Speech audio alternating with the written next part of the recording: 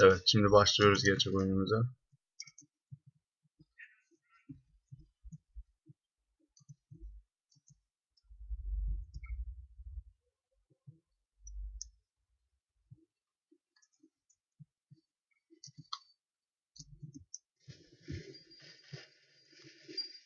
İşte budur.